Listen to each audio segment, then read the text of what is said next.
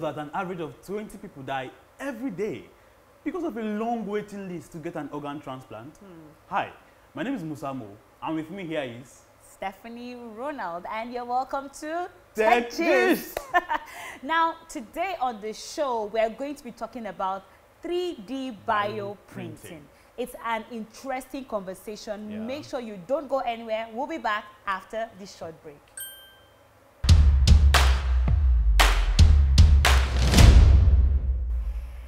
Hello guys, you're welcome back from that short break. Thank you so much for joining us. Now, before we go into the conversation proper, I need you to like this video, share with your friends, and of course, subscribe to the DABA TV channel, okay? Now, Musa, today we're talking about 3D 3D bioprinting. Yeah. And I liked what you said earlier. But let's go into the main conversation. Okay. What is 3D bioprinting? Okay, well, like I said earlier, an average of 20 people die every day Hmm. because of the long line of, you know, getting a donor and Yeah. all of those things. Mhm. So what if Mhm. we no longer require a donor? That long list. Like Yeah, you don't need somebody else to give you their organ. Exactly. Mhm. What if an organ is created which already has life? We can simply just be put into you and then you continue to live. So you're trying to tell me that right now, human beings, we can create organs. Sure, we can create organs. Did you just hear that?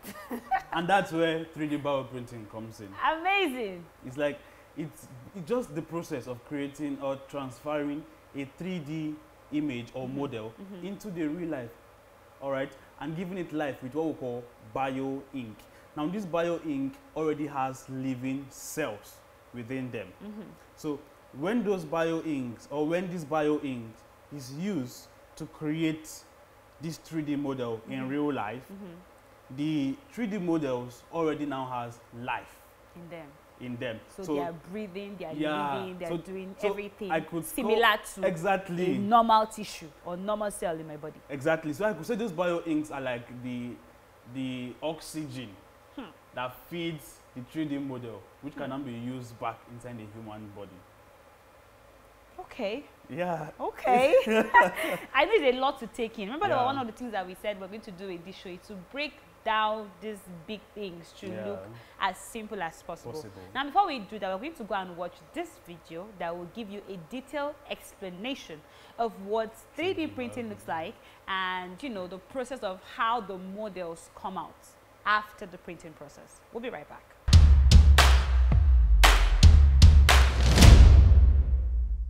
I'm Dr. Bonassar, and my lab makes ears. The invention that we've uh, discovered is a way to uh, print living cells in a material uh, that can uh, be used to reconstruct tissues in the body. My laboratory is interested in regenerating cartilage wherever it's found in the body. The process starts with a scan of an ear. We sit someone down in a in a chair and we have a camera that spins around their head and takes a 3D image of their of their head. We then can very precisely map out the topology of the ear. The next kind of key step is developing the ink for this printer. This ink is actually a living ink. It contains living cells. It's alive when we put it into the printer, it's alive when it comes out of the printer. The real power of the printing technique is that it can be used to make geometries that you just can't make with any other technique.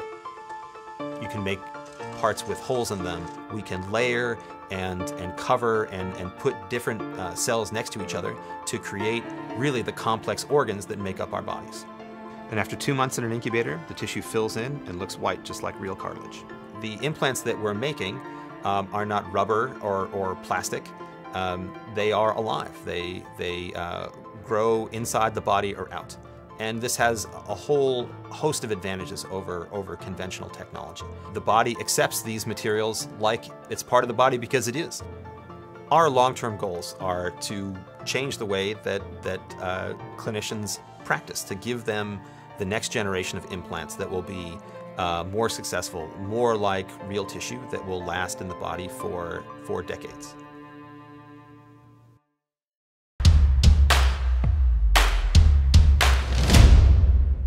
Hi guys, welcome back to Tech Gist, and I hope you have been enjoying the show so far. Yeah. Please do not forget to like, share, and comment below. And also stay till the end of this video because we are just getting started. Yep. So the video we had watched earlier discussed of processes involved in bioprinting, Mhm. 3D bioprinting specifically. Mhm. So we still want to throw a little more light on that subject. So Stephanie, what do you think about the three stages and processes of the 3D bioprinting? Well, basically, uh, first of all, let me debunk a myth before we go forward. Alright. Musa and I are not scientists. no, not at all. Eh. what we're doing is just helping lay men like you and I out there understand what these things are and so that we are carried along. Let it not be that tomorrow you're hearing 3D bioprinting and you're lost as to what the term even means at all. Yeah. Okay, so that you're conversant with the happenings in technology. Now, the processes in 3D bioprinting, basically, um, you have you know, the pre uh, bioprinting stage, Yeah. which allows you to create the model. You're talking about the shape, how is it going to look like, what are the components topology, yeah. exactly involved. Uh, let's say we're, we're printing a tissue. What are the things involved in that tissue? There is no room for mistake Not at all. at all because the machine prints what you have given it. Garbage like- in, exactly, garbage out. garbage out. So there is no room for mistake there. You need to print it exactly as you know the live tissue, how a tissue looks. That they're trying to replicate. You need to. It has to be exact. Yeah. Uh-huh. So that's what the process of the pre-printing stage does. You look at the model, create it, and all of that. Then you have the bioprinting itself. Yeah. Um, and that's the process of you, like we saw in the video, having to bring those um, live cells and combining them with a base. Now, a base can be anything, can be collagen, it can be gel, Gel. whatever the person that is manufacturing wants to use. Now, you combine those living cells that have already been grown with those uh, with, with that base, and then you put it. It becomes an ink. Now, that's the ink that is used in printing that model we just saw from the previous video. And of course, you have the post bioprinting stage Mhm. where um, you take all of this, what, what has been printed, you take that part and you, you incubate it, you put it in a stable environment. Remember that those tissues are in our body yeah, and our yeah. body has a certain temperature, It has a, you know, certain, yeah. a lot of things have to be proper for it to grow properly. So we create that simulation, we create that atmosphere for this tissue to actually grow And s- properly. and Now that is the summary of what bioprinting is. And by the time it's grown properly to the stage where it can now uh, function, you know, like the actual living um, tissue, then it can now be transplanted into the human body, basically speaking. Subarashi. So at the end of the day, you see, if we've been able to successfully do this with tissues and all of that, we can, we're not looking at how we can create organs, the kidney, the heart, the lungs, exactly. So you create the models. I think right now there are already like mini, um, mini structures and mini shapes of Yeah, that have been that have been that have been created, created yes. so that they can enable, you know, testing. And from there, voila, we're going to have new heart, new lungs, new You know, you know the way you are saying it is actually scaring me, and it's actually fun at the same time. So Yeah, it's Uh, scary and fun, I agree. yeah, like i- somebody is involved in an accident, Mhm. and the doctor just comes and smiles. Did you break a leg? Did you break a did you bone? break a bone? We're going to Oh, remodel you one. it. Oh my God. I can imagine, like, Go, think of it just happens, like. And, and you know, these things take, like, it's not, it's not so long ago. no. By the time you start, it doesn't, it doesn't take, like, you know, you can be on a waiting list for like two years, right? For, for to get Or the even more. And you might not still get it. and you will not die. but with 3D printing, like it can increase the lifespan of human beings by another. I, I don't even know the number to give I think it takes 20, fo- 28 to 48 hours to get yeah. the model so the, the more we keep doing this, the more you know. But for bigger organs, it will take more Yeah, because uh, right now, there's we're not we're not there yet with you know printing big like the full organ like the heart. It's because they are very very complicated. Um, God they create. Don't worry. God is- so is it's we're awesome. still we're still not there yet but trust me the technology is growing and it is Very getting there fast. very, very super fast. Now let me shock you did you know that right now they're working on creating um, uh, they've gone some they've gone far in creating skin um, you know, cosmetology, like skin creating. So, uh, yeah, so we're getting to a place where you can actually have a skin that is fire resistant. Fire cannot burn you. I'm serious, like fire, your skin is fire resistant. Oh, that's, that's that's that's, crazy. on another level actually. I know. So when people lose their skin, you know, to fire, or stuff, they they can, can actually recreate it. So that's going to reduce stigma, uh, stigmatization of human Exactly. beings, really. It's a lot. It's like there's a lot of advantages involved Wow. with 3D bioprinting. Printing. But like I said, we're still far, but ah, we have made progress because uh, right now we're able to print um, bone, it, the bone itself. Yes, yes. They've made a lot of progress in being able to print bone, being able to print the tissues in between, you know, bone marrows and all of that. Yeah. They've been able to print those tissues that help, um, you know, your bone movement and all of that.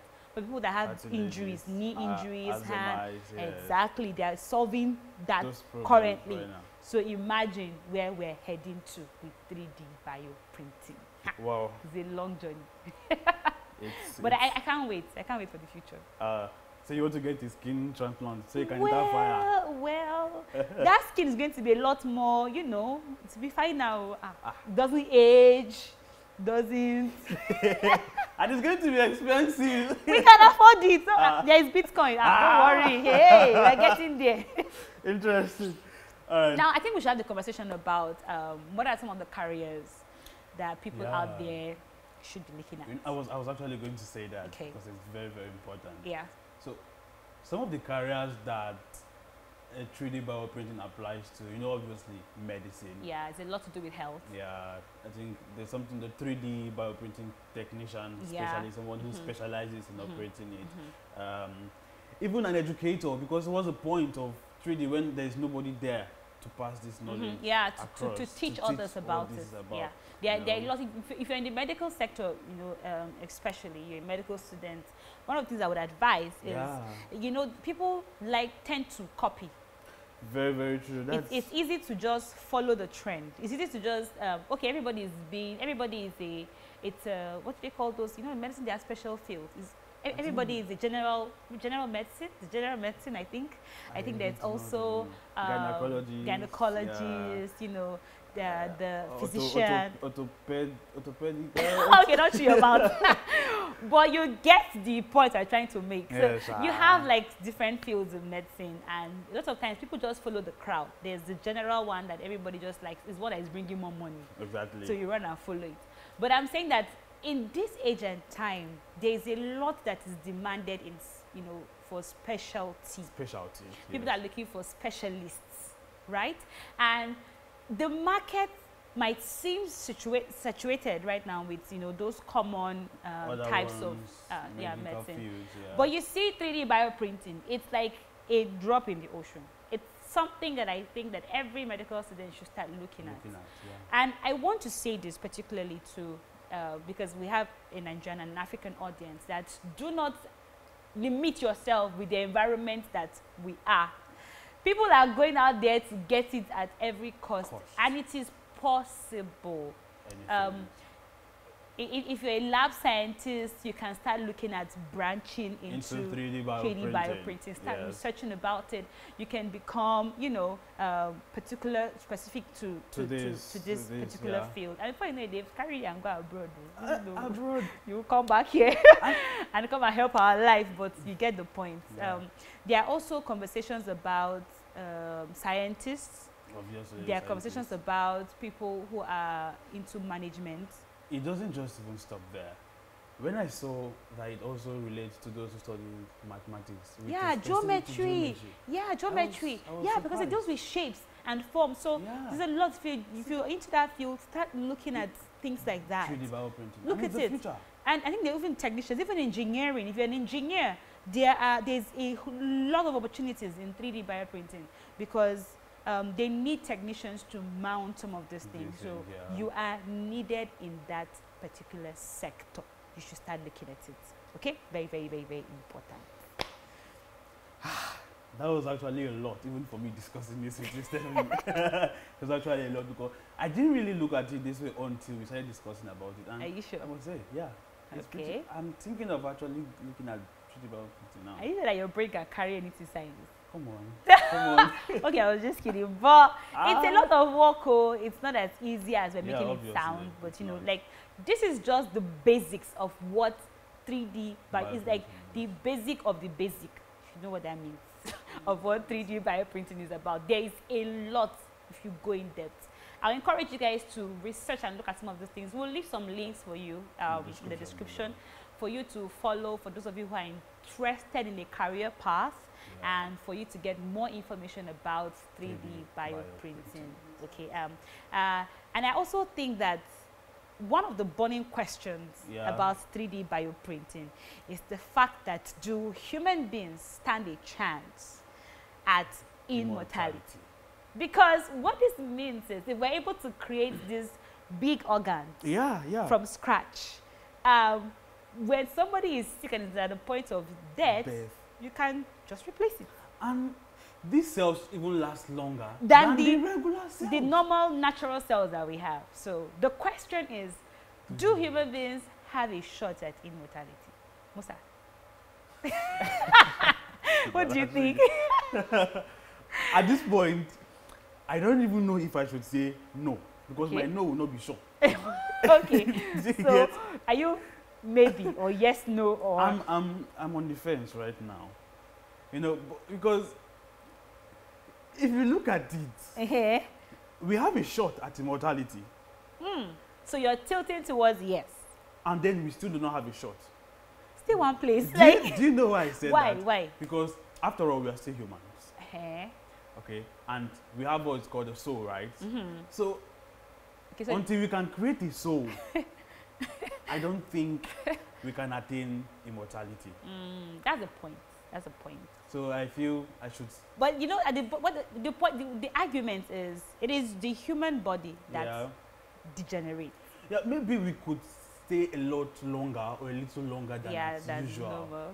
But we still die. One of the things I feel is the fact that the question you should be asking is, can we create everything? We can't. Because you need everything to function. Obviously. yeah, the heart might be one. What about the lungs? What about the what about the blood? What about the cells? What about oxygen? There are a lot of other things. So Even the brain. the brain, exactly. So all of those things you're asking, I are able to create. That means you're creating a full human being. Eh-heh. Uh, so, with anyways, with let us not conclude. There's still a long Way to to go. so guys, drop your comments below and Let's know what, do you think? think. What do you think? Do you think that we stand a shot at immortality? Can we create the heart? Can we create the lungs, the liver, the kidney? What are Cool. your opinions? We'd like to hear from you in the comment section. All right, guys. That was an amazing discussion with you, Steph. Thank you. And before we close, before we exit this episode today, Okay. I have a game for you.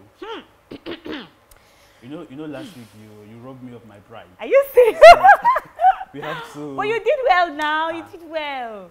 Anyways. Really? Okay, so I'm going to give you 10 seconds and you're going to spell Stephanie backwards. You will not shame me. me? You will not shame me. Are you ready? In three, two, one, go. E I N P H T E P. I don't even know what I'm spelling. Oh my god! I cannot believe that. Oh You my guys god. spelled it. Oh my god. All right, I'm so ashamed of myself. That was a wrap. Oh my god! Did I just feel that? You did. No, no. Next week, I'll have That was a wrap, next week. Next it week. was so I'm coming for amazing. So, guys, do not forget, like we said earlier, to like, Yeah. share, comment And on this video. And subscribe also. Subscribe. So, we'll see you guys next week. Bye bye.